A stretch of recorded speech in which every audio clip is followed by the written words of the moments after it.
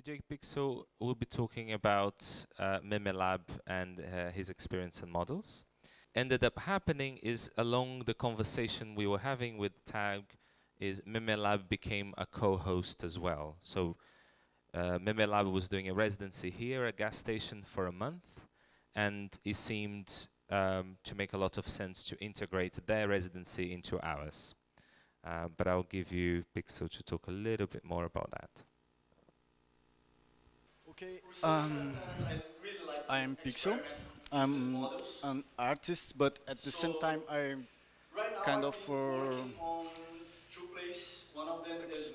research and I really like to experiment business models.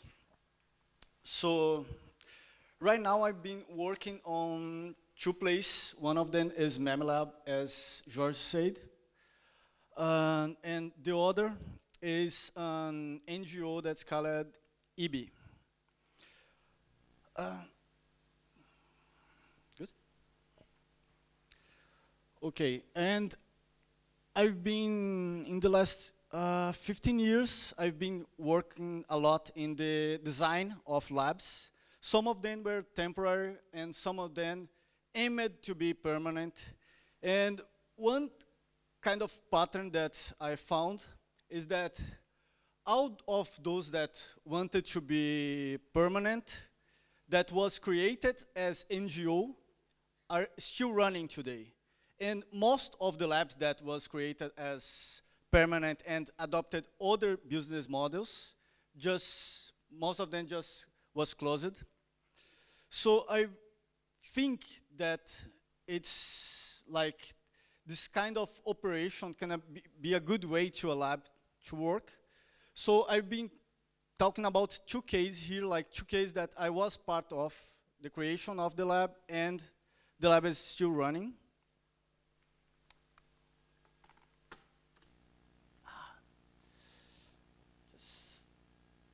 next one. Um, one of them was uh, is a lab that was created on inside an NGO, like an environmental news NGO, as an innovation lab for journalists. And what happened is that it was created there and it started to grow. And at some point, the people inside this lab wanted to work with like other kind of approach that's not journalism. And then it became like the bigger project of the NGO, bigger than all the other projects together.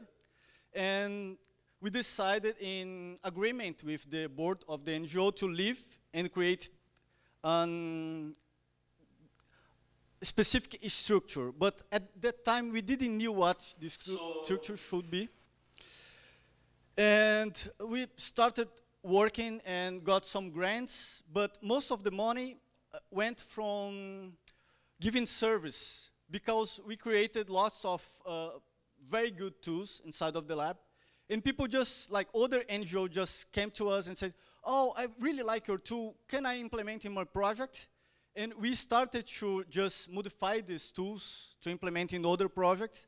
But the good thing about this, this work of giving service is that since we work with uh, free software all the time, free and open source software, any project that we that are using one of the our tools, when other people hire us to build an, like an improvement to the tool, the older projects can get an update.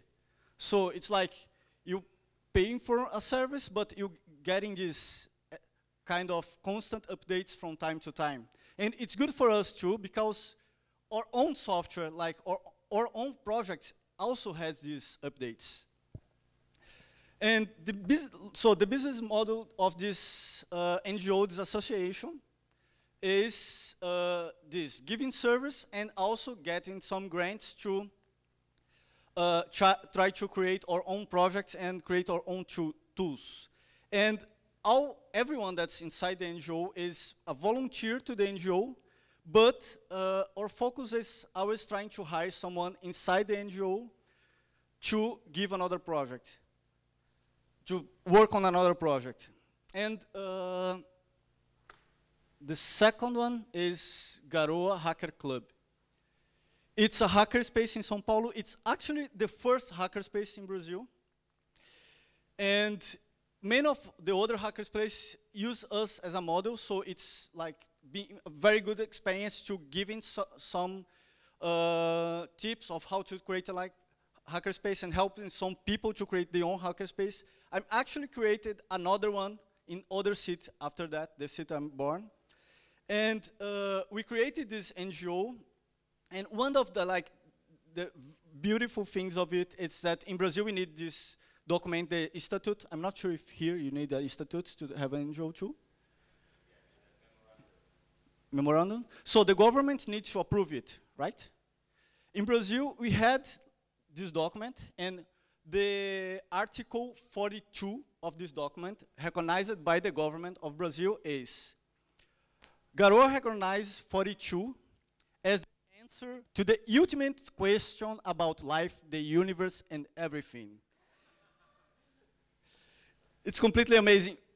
Other hackerspace tried to do that after us, and the government didn't allow in other places like other cities because it's decentralized.